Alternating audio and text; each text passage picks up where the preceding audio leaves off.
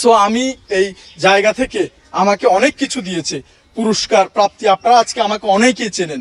সেটা কিসের জন্য? সেটা বাংলাদেশ পুলিশের জন্য। সো পুলিশকে কখনো অ্যাগেনিস্টে দাঁড় করাবেন না, অনুরোধ রইল, এই প্রতিষ্ঠান একটা হাফ লিটার পানি নিয়ে আসো তো।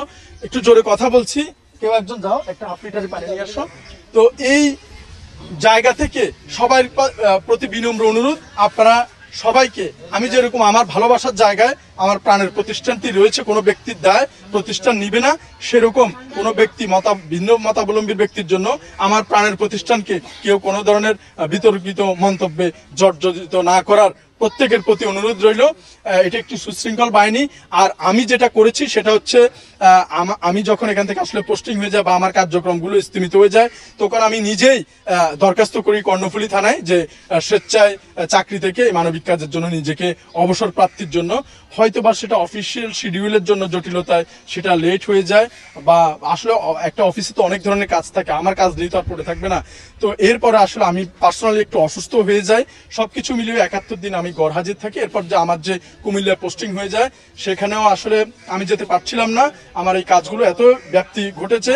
আর এই কাজ বাদ রেখে আমি যে অনুপস্থিত ছিলাম, আমি কিন্তু আমি কিন্তু অন্য কোনো কাজ করি নাই যে আমি কিন্তু সোশ্যাল মিডিয়ায় সরব ছিলাম। আপনারা সবাই জানেন, এবং মানবিক কাজে বিপর্যস্ত মানুষের কাজে আমি কিন্তু নিজেকে আত্মনিয়োগ করেছি এবং বেয়ারিশ মানুষের উদ্দেশ্যে বেয়ারিশ মানুষের কল্যাণে আমি আমার যে অনুপস্থিতকালীন সময়টা, সেটা কিন্তু আমি আমার বেয়ারিশ মানুষদের জন্য দিয়েছি। আমার দেশের এই অবহেলিত এই মানুষদের জন্য দিয়েছি। আমি কিন্তু এটা আরামে ঘুমাই নাই কিংবা কোথাও বিদেশে কি বেড়াই নাই কিংবা এটা আমার পার্সোনাল কোনো প্রমোদ ভ্রমণের জন্য আমি এটা তৈরিও করি নাই। শুধুমাত্র মানবতার মুক্তি, কল্যাণ বেয়ারিশ মানুষের জন্য এটা আমি আপ্রাণ, পুরো রমজান মাস ব্যাপী আমি অনেক কার্যক্রমে সম্পৃক্ত ছিলাম নিজেকে। তো এটা, এই কাজগুলো আসলে আপনারা বিবেচনা করবেন ভালোবাসার জায়গা থেকে এবং অনুপস্থিতির যে বিষয়টা, এটা আপনারা ক্ষমা সুন্দর দৃষ্টিতে দেখবেন। এবং আমি স্বেচ্ছায় কিন্তু অব্যাহতির দরখাস্ত করেছি এবং আমি কুমিল্লায় গিয়েও আমাদের মাননীয় পুলিশ সুপার মহোদয়ের অফিসে গিয়েও কিন্তু আমি আমার এই বক্তব্যটি তুলে ধরেছি, জয়েন করে এবং সেখানেও কিন্তু আমি আমার যে অব্যাহতির দরখাস্ত দিয়েছি। তো অ্যাজ ইউজুয়ালি আসলে এটা প্রশাসনিক জটিলতা, অনেক সময় লাগে। তো যেহেতু এটি সময় লেন্দি হচ্ছে। এই সময়টা একটু গ্যাপ হয়ে গিয়েছে। এই গ্যাপটাতেই আসলে এটাকে কি বলে, অব্যাহতি বা চাকুরি থেকে, বা অব্যাহতির যে নোটিশটা সেটা চলে এসেছে। আসলে দেশদ্রোহী কোনো কিছুই আমি করিনি। আপনারা সবাই খবর নিয়ে দেখতে পারেন এবং সেখানে উল্লেখও রয়েছে। আপনাদের জ্ঞাতার্থে জানাচ্ছি। অতএব ভিন্ন ধরনের নিউজ কেউ প্রচার করবেন না এবং গতানুগতিক নিয়মে আমি দরখাস্ত করেছি এবং সেগুলোর সবগুলোই প্রুভনেস আছে এবং সেখানে কিন্তু আমার যে নিউজটা আপনারা দেখছেন, সেখানে কিন্তু উল্লেখ রয়েছে এবং আমাদের মাননীয় কর্মকর্তারা কিন্তু সেটা উল্লেখ করেছে। সো এখানে নিয়ে ভিন্ন কোনো উদ্দেশ্যে কোনো কথা বলার কোনো ধরনের স্কোপ বা সুযোগ নেই। ডিপার্টমেন্ট অ্যাজ ইউজুয়ালি যেভাবে নিয়মতান্ত্রিকভাবে চলে সেভাবে চলেছে যে আমার অব্যাহতির বিষয়টা গড গড অনুপস্থিতির কারণেই কিন্তু সেটা ওনারা করেছে এবং আমার ব্যক্তিগত আগ্রহ বা অভিমত ছিল যে বিষয়টা একটু সুন্দর হতে পারতো আনুষ্ঠানিক ফুলেলভাবে আমরা যেভাবে বিদায় নিই, সেভাবেও বিদায়টা হতে পারতো। কিন্তু হয়তো বা অফিসিয়াল জটিলতার কারণে লেন্দি প্রসেসের কারণে সেটা হয় নাই। তারপরেও যে সিদ্ধান্ত নিয়েছি, আমি সেই সিদ্ধান্ত মেনে নিয়েছি। আমার ভালোবাসার জায়গাটা থেকে আজীবন আমি বাংলাদেশ পুলিশকে ভালোবেসে যাব এবং all is the right all is the right সব কিছুই সঠিক রয়েছে। বাংলাদেশ পুলিশের কোনো কিছুই বিতর্কিত করার মতো কোনো অবস্থান তৈরি হয় নাই এবং আমি স্বেচ্ছায় নিজেকে অবমুক্তি করার জন্য দরখাস্ত করেছি এবং ওনারা যে ডিসিশন নিয়েছে সেটাকে আমি সাধুবাদ জানাই এবং সেটা আমি মেনে নিয়েছি এবং অনেকে করেছেন যে এটা অ্যাপিল করার বিষয়। আসলে আমি স্বেচ্ছায় যেখানে দরখাস্ত দিয়েছি, সেখানে অ্যাপিল করার কোনো বিষয় হতে পারে না। আমাকে যদি এরকম অন্যায় কোনো কিছু করা হতো আমি যদি সেটা ফেরত পাওয়ার জন্য চেষ্টা করতাম, সেখানে অ্যাপিলের বিষয় থাকতো। যেহেতু একটি বৃহৎ স্বার্থে আমার স্বার্থটা আমি জলাঞ্জলি দিয়েছি। এটা হচ্ছে কারণটা আপনাদেরকে ক্লিয়ার করলাম। আবারও বাংলাদেশ পুলিশের জায়গা থেকে কোনো ধরনের চাপ, কোনো ধরনের অন্যায়, কোনো ধরনের ভিন্ন মতের কিছু এই ধরনের কোনো কিছুই না। এবং বাংলাদেশ পুলিশকে স্যালুট এই পুলিশের বদন্যতে আপনারা আমাকে চিনেন। এই পুলিশের ভালো একটি অর্জন পুরস্কার, সেটাও আমাকে এই ডিপার্টমেন্ট দিয়েছে, জন্য মাননীয় প্রধানমন্ত্রীকে অসংখ্য ধন্যবাদ। ওনার সুদূর প্রসারী এই পরিচালনায় আজকে হয়তোবা আমরা এতটুকু এগিয়ে যেতে পেরেছি এবং অনেকের কাছে আমরা পরিচিত হয়ে উঠতে পেরেছি এবং এই ভালো কাজগুলো ইনশাল্লাহ করে যাব। এই হচ্ছে চাকরি সংক্রান্ত আপনাদের ব্রিফ করে দেওয়া হলো যে স্বেচ্ছায় অবমুক্তির জন্য আমি দরখাস্ত করেছি এবং সেই দরখাস্ত বিলম্বিত হওয়ার কারণে ওনারাই অবমুক্তি বা অব্যাহতির ওনারাই প্রসেসিং করেছে। এজন্য আলহামদুলিল্লাহ সব কিছুর জন্য আলহামদুলিল্লাহ। আর দ্বিতীয় যে তিনটা বিষয় ক্লিয়ার করব, দ্বিতীয় বিষয় হচ্ছে আমাদের প্রতিষ্ঠান প্রতিষ্ঠান চলে কীভাবে? কাগজটা দেখি। কিন্তু গভর্নমেন্ট রেজিস্টার্ড একটি সংগঠন। এই সংগঠনের যদিও রাইট রয়েছে জনগণের সহায়তা নেওয়ার বাট আমরা এখনও পর্যন্ত সরাসরি জনগণের কোনো ধরনের সহায়তা নিচ্ছি না এবং ভবিষ্যতে আপাতত নেওয়ার কোনো সিদ্ধান্ত নেই।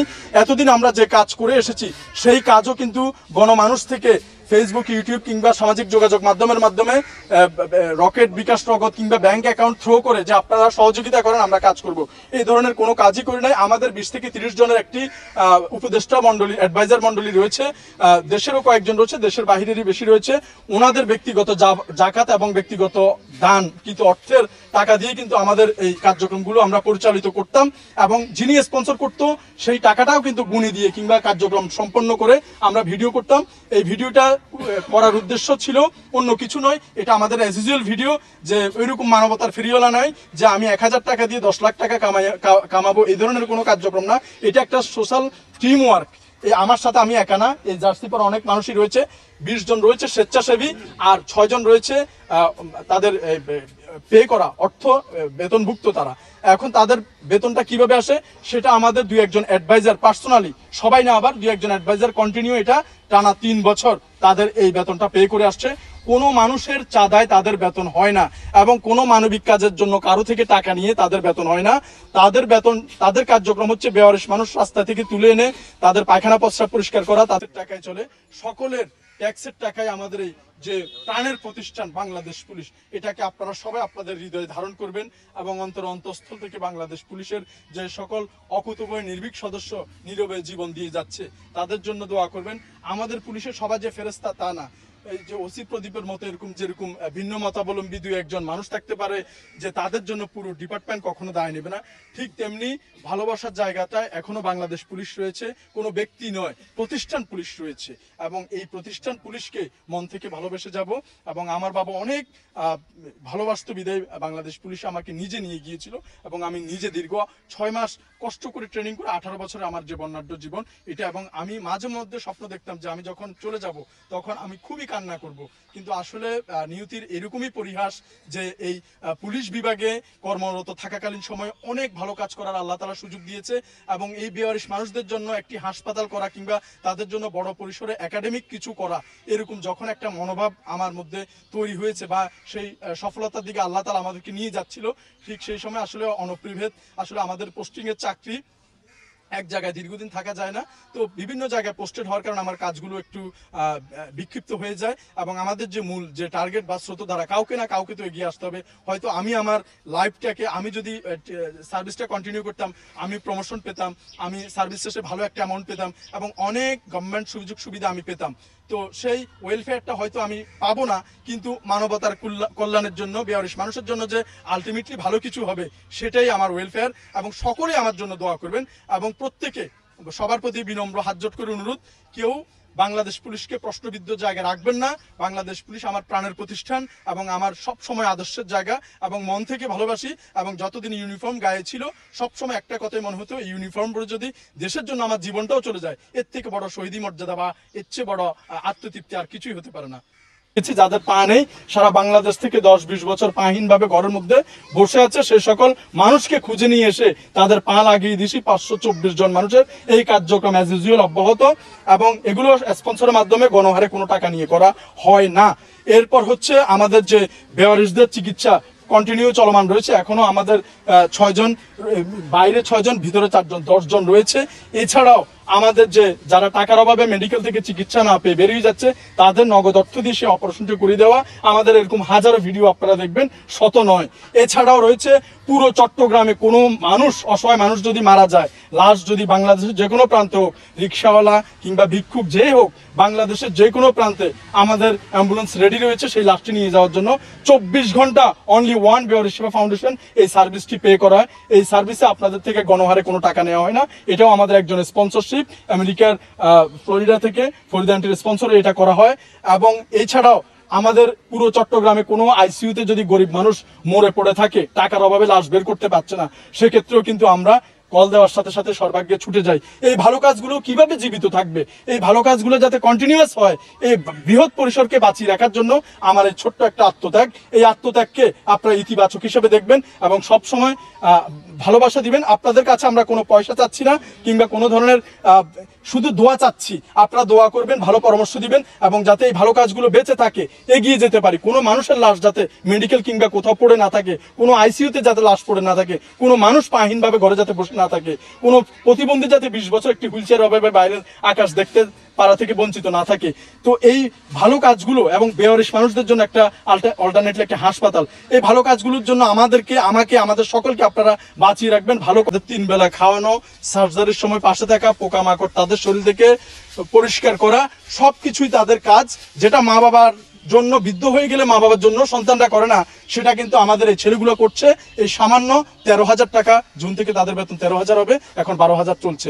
এই তাদের সামান্য তেরো হাজার টাকা বেতনেই কিন্তু তারা এগুলো করে যাচ্ছে। তাদের পুরো পরিবারটা চলে এই টাকায়। এবং আবারও বলছি, এই টাকা কোনো মানুষের দানের টাকা নয়। এই টাকা আমাদের দু একজন অ্যাডভাইজারের কন্টিনিউ তিন বছর যাবত চালিয়ে এসছে এবং ভবিষ্যতেও চালিয়ে যাওয়ার আশ্বাস দিয়েছে। এবং এই টাকাটা দিয়েই কিন্তু ওনাদের, পানি কেউ? এই টাকাটা দিয়েই কিন্তু ওনাদের এই কার্যক্রমগুলো আমরা পরিচালিত করি। আবারও বলছি, সবার জ্ঞাতার্থে। বিসমিল্লাহির রহমানির রহিম।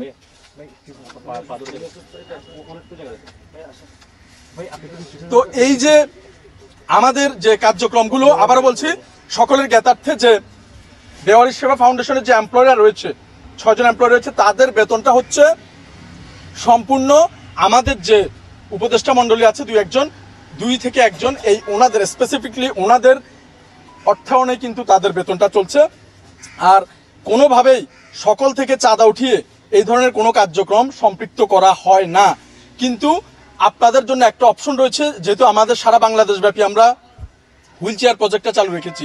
কেউ যদি দশটা হুইল চেয়ার স্পন্সর করে ধরেন সাত হাজার টাকা করে সত্তর হাজার টাকা হুইল চেয়ার আমাদের কাছে পৌঁছে দিছে তাহলে ক্যারিং কস্টটা আমাদের। এ পর্যন্ত যতগুলো হুইল চেয়ার আমরা সারা বাংলাদেশে দিয়েছি হাজার হাজার সবগুলো ক্যারিং খরচ আমরা বহন করেছি। যারা স্পন্সর করছে তারা শুধু হুইল চেয়ারগুলো দিছে। হয় হুইল চেয়ার হিসেব করে টাকা দিয়ে দিয়েছে দোকান দেখিয়ে দিয়েছে অথবা আমাদেরকে পাঠিয়ে দিয়ে দিয়েছে। কিন্তু আমরা গড়ে যে আপনারা সবাই টাকা দেন আর সেই টাকা দিয়ে আমরা হুইল চেয়ার দিব সেই টাকা দিয়ে আমরা একটা ভালো কাজ করব এই ধরনের কোনো অপশন স্কোপ নেই। সো এটা গড়ে, এই ধরনের প্রশ্ন কেউ দয়া করে আমাদেরকে করবেন না, যে অনেকে হয়তো ভাবতে পারেন যে শকত ভাই কেন চাকরি ছেড়ে দিচ্ছে। ছেড়ে দিচ্ছে কি? শকত ভাই অনেক টাকাওয়ালা হয়ে গেছে, অনেক মনে হয় অর্থ কামাচ্ছে। আবার একটা নেগেটিভ মন্তব্য পেয়েছি যে ব্যবসা মনে ভালো হচ্ছে। দয়া করে এই ধরনের মন্তব্য অনুরোধ করবেন না, আমাদের মন ভেঙে যায়। এবং পার্সোনালি এর জন্য আমি মহান আল্লাহ রাবুল আলমিনের কাছে কাল কিয়ামতের দরবারে আপনার আপনার বিষয়ে এই দুনিয়াতে কোনো বিচার না পাইলেও কালকে আমাদের দরবারে সেই আপনার বিরুদ্ধে এই মনে কষ্ট পাওয়াটা আমি রুজু করব এবং আল্লাহ এর উত্তম ফয়সলাকারী হিংসা কখনো মানুষকে তার কাঙ্ক্ষিত লক্ষ্যে পৌঁছাতে পারবে না। পারে না। দয়া করে এই ধরনের মন্তব্য থেকে বিরত থাকবেন। যদি আমরা মানুষ আমাদের কোনো ধরনের ভুল ত্রুটি দেখেন, সরাসরি এসে আমাদেরকে বলবেন। আমাদের সামাজিক যোগাযোগ মাধ্যমে হোয়াটসঅ্যাপ নাম্বার দেওয়া আছে, আমাদেরকে বলবেন, আমরা শুধরে নেব, সেখান থেকে সরে যাব কিংবা নতুন কোনো পদক্ষেপ নিব। কিন্তু দয়া করে এই ধরনের মন্তব্য করে আমাদের কাজকে বন্ধ করে দেবেন না। আপনাদের প্রতি আমাদের অনুরোধ রইল। আর কোথাও কোনো অন্যায়ের কাছে মাথা নত করা মানুষ আমি নই। আমার জীবনের শেষ বিন্দু পর্যন্ত এই ধরনের ভালো কাজের সাথে আমি ছিলাম, আছি এবং ভবিষ্যতে থাকব। আপনারা সবসময় আমাকে যেভাবে দেখছেন সেভাবে দেখবেন। জীবনের শেষ নিঃশ্বাস পর্যন্ত। আমি রাগে, ভয়ে, থ হয়ে যাওয়া কিংবা পালিয়ে যাওয়া, এই ধরনের কোনো মানুষ নয় আমি একা নই, আমার সাথে এরকম অনেক মানুষ রয়েছেন। কালকে থেকে এই পর্যন্ত যে শকত ভাই আপনার চাকরি চলে গেছে, আপনি আমাদের অফিসে জয়েন করেন, আমাদের কোম্পানিতে জয়েন করেন, এরকম কমপক্ষে দশটা মেসেজ আমি সিন করেছি। কিন্তু আলহামদুলিল্লাহ আপনাদের দোয়ায় আমার কোথাও যাওয়ার প্রয়োজন নেই। আমার ফ্যামিলি ব্যাকগ্রাউন্ড সম্পর্কে একটু জানি। জানাই আপনাদেরকে অনেকে বলবেন যে শকত ভাই, আপনার চাকরি ছেড়ে দিলেন, আপনি চলবেন কীভাবে? এটা কিন্তু মোস্ট একটি প্রশ্ন এবং ইস্যু এই ইস্যুটা সবার জানার খুবই প্রয়োজন। দয়া করে যারা জানছেন অন্যকে জানার সুযোগ করে দিবেন। আমার বাবা একজন মুক্তিযোদ্ধা, একজন গর্বিত মুক্তিযোদ্ধা, তদানীন্তন পাকিস্তান সেনাবাহিনীতে কাজ করতেন। একজন অফিসার হিসেবে যখন দেশে যুদ্ধ শুরু হয় যুদ্ধের প্রথম পিরিয়ডে কিন্তু উনি পাকিস্তান থেকে পালিয়ে এসে সম্মুখ যুদ্ধে, সম্মুখ সমরে আমার বাবা অংশগ্রহণ করে। বর্তমানে উনি মরহুম। তো আমার বাবা একজন বীর মুক্তিযোদ্ধা, উনি যে বিশ হাজার টাকা মুক্তিযোদ্ধা ভাতা পেত, সেই ভাতাটা কিন্তু আমিই কিন্তু সেটা গ্রহণ করি এবং আমার একটু সমস্যা রয়েছে, অন্যায় দেখলে যেহেতু আমার রাগ উঠে যায়, এজন্য আমাকে আমার ডিপার্টমেন্টের আমার সহকর্মী ইভেন আমার বড় ভাই, উনিও কিন্তু বারবার আমাকে সতর্ক করেছেন, কিন্তু তারপরেও অন্যায় দেখলে আমার কিন্তু কথাটা একটু বড় হয়ে যায় বা আমি থাকতে পারি না, এটা আমার একটি বদ অভ্যাস, আমি জোরে কথা বলে ফেলি, কখনোই অন্যায়ের সাথে আপোষ করি না। সে যেই হোক, সে জায়গা থেকে আজীবন এই বেয়ারসদের জন্য তাদের পাশে থাকব, কথা দিয়ে যাচ্ছি। ইনশাল্লাহ সবাই আমার জন্য দোয়া করবেন, কখনোই অন্যায়ের সাথে আপোষ নয় এবং এই আমি আমার যে অর্থনৈতিক ব্যাকগ্রাউন্ড যে চালিকা শক্তি, সেটা কিন্তু আপনাদের সাথে শেয়ার করেছি। এবং আমাদের অনেকে প্রশ্ন করছেন যে ভবিষ্যতের যে বিহারিস হাসপাতাল, সেটা চালাবেন কীভাবে? সেটার উত্তর হচ্ছে, আমরা যখন বিহারিস হাসপাতালটা শুরু করব, তখন আপনাদের থেকে দুই টাকা, পাঁচ টাকা, চার টাকা নিয়ে এই হাসপাতাল পরিচালনা কোনো ইচ্ছা বা আগ্রহ আমাদের নেই। কারণ আপনি দুই টাকা দিয়ে দুই হাজার টাকার কথা বলবেন দুই দিন পরে। এইটা আমরা অতীতে বিভিন্ন সংস্থার কাছ থেকে পর্যালোচিত করে এটা আমরা আমাদের বাস্তব অভিজ্ঞতা নিয়েছি যে বিভিন্ন সংগঠন, বিভিন্ন কৈফিয়ত, বিভিন্ন সমস্যার মধ্যে দিয়ে অতিক্রম করছে। তাদের এই সমস্যাগুলোই আমরা উদাহরণ হিসেবে নিয়ে, আমরা কারও থেকে কোনো ধরনের যাতে সহযোগিতা নিতে না হয়, আমরা নিজস্ব কোনো হালাল প্রোডাক্ট কিংবা কোনো ব্র্যান্ড আমরা নিজে, নিজেরাই ইনশাল্লাহ তৈরি করব এবং সেটা মার্কেটাইজ করব। সেই অর্থেই, সেই লিগ্যাল প্রসেসেই কিন্তু আমাদের হাসপাতালটা চলবে। আমাদের এটা সুদূর প্রসারে একটি প্ল্যান রয়েছে ইনশাল্লাহ আবারও বলছি যে আমার যেহেতু অপরচুনিটি রয়েছে, আমার যে উইলিশরা রয়েছে তাদের, আমার ব্যক্তিগতভাবে পার্সোনালি যে বড় ভাই যিনি শিল্পপতি এবং সাবেক কাউন্সিলর ওনার কিন্তু যে ব্যক্তিগত ওনার অফিসেই অফিসে দুই তিনটে অফিসেই কিন্তু ওনার তিরিশ চল্লিশ জন এমপ্লয় রয়েছে। তো উনিও আমাকে অনেকবার থেকে বলছে, তুমি আমার অফিসে জয়েন করো। আমার বড় ভাইয়ের একমাত্র কন্যা, সে যে লন্ডন ইউনিভার্সিটিতে অধ্যয়নরত, তার কোনো ছেলে নেই। আল্লাহ তাল্লাহ তাকে যতটুকু দিয়েছে তো উনি বলছে, আমাদের তো আর প্রয়োজন নেই। তুমি আমার অফিসটা দেখো। কারণ ওনার যদি কিছু হয়ে যায় ওনারা বর্তমানে ওনার এই সম্পদটা অন্তত দেখার মতো একটা মানুষ তো নেই। এই জন্য ওনার অফিসেও কিন্তু আমি জয়েন করি নাই। এবং আমার একটাই লক্ষ্য, একটাই উদ্দেশ্য, আমাকে যদি এই অনিয়ারে ঘোষণা দিয়ে যাচ্ছি যে মান্থলি যদি কেউ লক্ষ টাকারও চাকরির প্রলোভন দেয় কিংবা অফার করে, তাও আমি যাব না। একমাত্র বেয়ারসদের জন্য জীবনের শেষ সময় পর্যন্ত ব্যয় করব। তবে অনুরোধ কেউ কোনো ধরনের বাজে মন্তব্য করবেন না আমার এই কাজ সম্পর্কে, তাহলে মনে খুবই কষ্ট পাবো। কিন্তু যদি বারবার আপনারা দুই একজন রয়েছেন যারা হিংসাত্মক আচরণ করছেন, যদি এরকম আজে বাজে কমেন্ট করেন, যদি আপনারা প্রুফ দিতে না পারেন, আমি কিন্তু সাইবার বুলিংয়ে এবং সাইবার অ্যাক্টে কিন্তু আপনাদের বিরুদ্ধে আমি মামলা করতে কিংবা আইনানুগ ব্যবস্থা নিতে আমি বাধ্য হবে, স্পষ্ট আকারে বলে দিচ্ছি। আমি, আপনারা আমাকে যারা ভালোবাসেন এই পর্যন্ত সোশ্যাল মিডিয়ায় গতকালকে থেকে আজ পর্যন্ত হাজার হাজার পোস্ট এবং কমেন্ট আমি পড়েছি। আমার আসলে সময়টা একটু আপসেট আমি সবাই যেভাবে ফোন করছে। তো আসলে আমি এতদিন ভেঙে পড়ি নাই, কিন্তু আপনাদের এত আবেগ আপ্লুত ভালোবাসার কারণে নিজেকেই খুব কন্ট্রোল করা কঠিন হয়ে যাচ্ছে। আপনাদের এই ভালোবাসার সম্মানটুকু যাতে আমি রাখতে পারি, আমার কোনো ধরনের অন্যায় কিংবা ভুল যদি আপনারা দেখেন, সাথে সাথে আমাকে অবহিত করবেন, আমি শুধরে নিব, কিংবা আপনারা যেভাবে বলবেন সেভাবে নিজেকে পরিচালিত করার চেষ্টা করব। কোনো মানুষের মনে কষ্ট দিয়ে কখনোই ভালো কাজ হয় না। আমি চাই কোনো মানুষের মনে কষ্ট যাতে কোনোভাবেই না যায়। আবারও বলছি, আমাদের ব্যক্তিগত কাজগুলো শুধুমাত্র কিছু মানুষের ব্যক্তিগত অর্থায়নে করা কেউ পার্সোনালি কোনো কিছু স্পন্সর করতে চালে আই উইল বি অ্যাগ্রি আমরা সেটা রাজি আছি, আপনারা সেটা করতে পারেন। কিন্তু গড়ে, গণহারে, মানুষ থেকে চাঁদা নেয়া, মানুষ থেকে টাকা নেয়া, যে আমাদেরকে দেন, আমরা সাহায্য করব। এই ধরনের কোনো প্রসেস এখনও চালু হয় নাই, অতীতেও ছিল না, বর্তমানেও থাকবে না। শুধুমাত্র কেউ পার্সোনালি আবারও বলছি, কেউ যদি কোনো কিছু ডোনেশন করতে চান আমাদের মাধ্যমে, আমাদের নাম্বারে যোগাযোগ করে যে, ভাই, আমি এই কাজটা করতে চাই। আপনি পাচ্ছেন না, আপনার হয়ে আপনার অনুরোধ ক্রমে, আপনার অনুমতি ক্রমে আমরা সেটা করে দিচ্ছি এবং ভিডিও আকারে আপনাকে এক কপি পাঠাচ্ছি, আমাদের পেজে এক কপি চলে যাচ্ছে। এর মধ্যে যদি কোনো ভুল হয়ে থাকে, আপনারা আমাদেরকে জানাবেন। কিন্তু পার্সোনালি মানুষ থেকে টাকা নিয়ে আমরা অনেক কিছু করছি। এই ধরনের ব্লেম দিবেন না। দয়া করে এই ধরনের ব্লেম যদি ওভার অ্যাক্টিং কেউ করে থাকেন, আমরা কিন্তু সাইবারে আপনাদের বিরুদ্ধে আইনগত ব্যবস্থা নেওয়ার ব্যবস্থা নেওয়াতে বাধ্য হব। আর আমাদের যে পাঁচ ছজন স্টাফ রয়েছে কন্টিনিউয়াস বেয়ারসদের পায়খানা প্রস্রাব পরিষ্কার করার জন্য, আবার বলছি তাদের বেতনটা কিন্তু আমাদের আমাদের স্টাফদের বেতন আমাদের অ্যাডভাইজার থেকে আসে। দ্বিতীয় ক্লিয়ারিং হচ্ছে, আমরা গণহারে কোনো টাকা নিয়ে, কোনো ধরনের কাজ করি না। শুধুমাত্র নির্দিষ্ট স্পন্সরের অর্থায়নে কিন্তু আমরা কাজগুলো করে থাকি। যদি কেউ আগ্রহী হয়, তাদেরটা আমরা আবার ভিডিও আকারে শো করি। আমরা দ্বিতীয় কষ্টটিও শেষ করে দিলাম। তিন নাম্বার কথা হচ্ছে আমার আয়ের উৎস। সেটাও কিন্তু আমরা বলে দিয়েছি, আমার ফ্যামিলির যে আর্নিং সে টেন থাউজেন্ড এবং আমার যে বাবার মুক্তিযোদ্ধার পেনশন যে বিশ হাজার টাকা, সেটা এবং আমার ভাইয়ের একটা ভেহিক্যাল রেন্টের ব্যবসা আমি দেখি, সেখান থেকে বিশ হাজার টাকা, এর পঞ্চাশ হাজার টাকা আসে এবং আরেকটা হচ্ছে আপনাদের ভালোবাসা ইউটিউব ফেসবুক গণমাধ্যমে যে একটা রেমিটেন্স কখনো কম, কখনো বেশি, যেটা আসে, সেটা কিন্তু আমরা সারা বাংলাদেশ ব্যাপী যে কার্যক্রমগুলো করি, সেখানে কিন্তু একটা ফুয়েল খরচ থাকে, সেখানে কিন্তু একটা যাতায়াত খরচ থাকে, আপনারা যেটা স্পন্সর করেন সেটা আমরা পৌঁছে দিই। কিন্তু মাঝখানে যে ক্যারিং খরচ, খাবার খরচ, সেটা কিন্তু আমরা আমাদের যে ফেসবুক ইউটিউব সেটাও কিন্তু এই খাতে আমরা আল্লাহর রহমতে খরচ করে ফেলি। এজন্য আপনারা যারা আমাদের ফেসবুক ইউটিউবের ভিডিওগুলো দেখেন, তারাও আমাদের সহযোদ্ধা। ব্যক্তিগতভাবে এখানে কেউ লাভবান হয় নাই। আপনাদের অনেক, অনেকগুলো সুখবর দিচ্ছি। সেটা হচ্ছে আমাদের এই পর্যন্ত প্রায় পাঁচশো সত্তরটি নলকূপ আমরা বাংলাদেশের বিভিন্ন জায়গায় স্থাপন করেছি। আমাদের প্রত্যেকটা ভিডিও আমাদের প্রুফ হিসেবে রয়েছে। এই পর্যন্ত আমরা পাঁচশো কত নাম্বার পা?